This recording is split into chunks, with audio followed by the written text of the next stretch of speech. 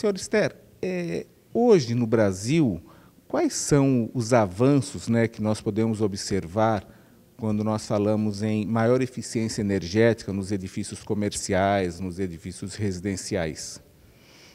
Bem, há uma diferença clara entre os edifícios residenciais e os edifícios comerciais, corporativos, como se fala, grandes centros comerciais, hospitais e grandes obras.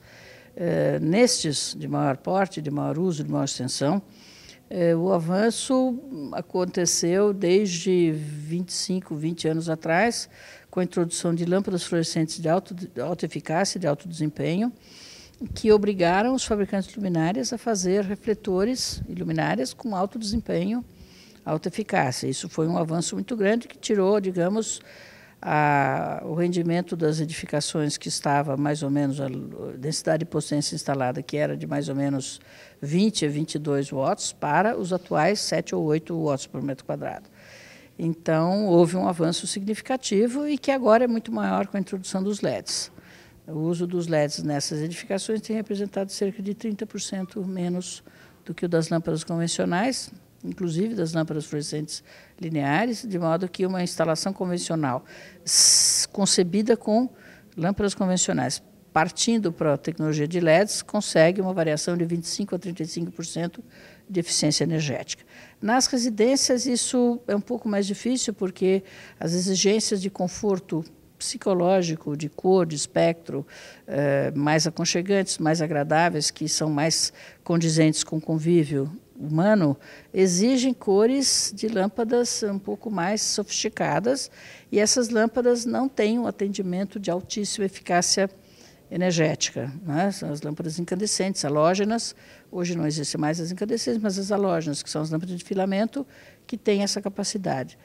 Os LEDs, ao contrário, já estão chegando e já estão sendo usados. Eu mesma já fiz algumas residências com uso de LEDs de alta qualidade de espectro, 98% de reprodução de cor, praticamente luz natural. Consequentemente, a gente agora começa a introduzir nas residências também altíssimos índices de eficiência energética. Tá. Mas isso é bem recente. É, senhor Esther, de alguma maneira, é, a crise hídrica, que vem também junto com uma, uma possível crise energética, uhum. falta de energia, um racionamento, um apagão, Provável. É, tem levado com que a sociedade, quando falo sociedade, empresas, população, comércio, indústria, é, se preocupem mais com essa questão de eficiência energética e invistam mais em, em LED? É, Bem, é, em termos de, de clientes, eu tenho um cliente que tem lojas em grande extensão e que, surpreendentemente para mim, nos últimos dois meses, indicou o uso de controles de automação visando o provável uh, controle, racionamento de energia que pode acontecer nos, nos próximos anos, eh, de maneira que eles possam controlar a intensidade luminosa por área, por momento de uso das, das lojas e fazendo o possível para, já que eles têm um nível baixo de consumo, porque usam sistemas eficientes, né, eficazes, eh, prevendo que poderão fazer uma redução quando ela vier a partir dos, dos sistemas de automação, que implicam em custo bem maior da instalação. O grande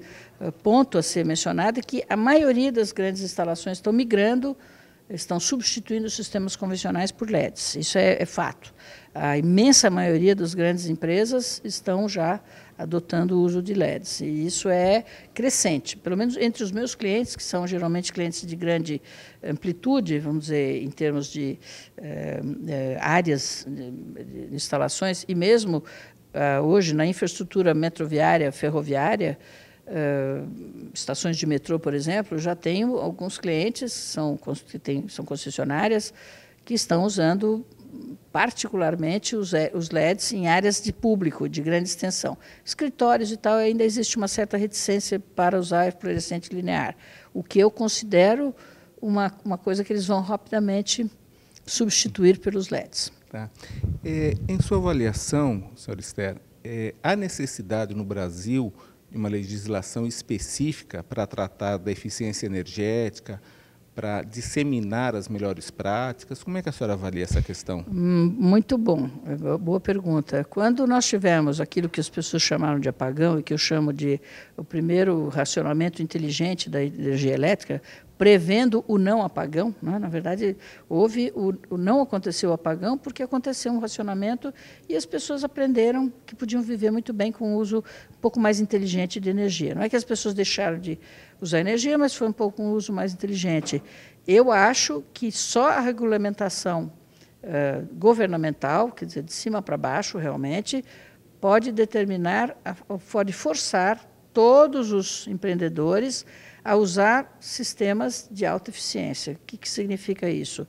Se nós podemos usar LEDs caindo de 11, 12 watts metro quadrado para 6 ou 7, Uh, isso só vai acontecer se houver uma regulamentação e dizendo o seguinte: para tal tipo de edifício, para tal tipo de área, o limite máximo de consumo de energia é esse, tantos watts por metro quadrado.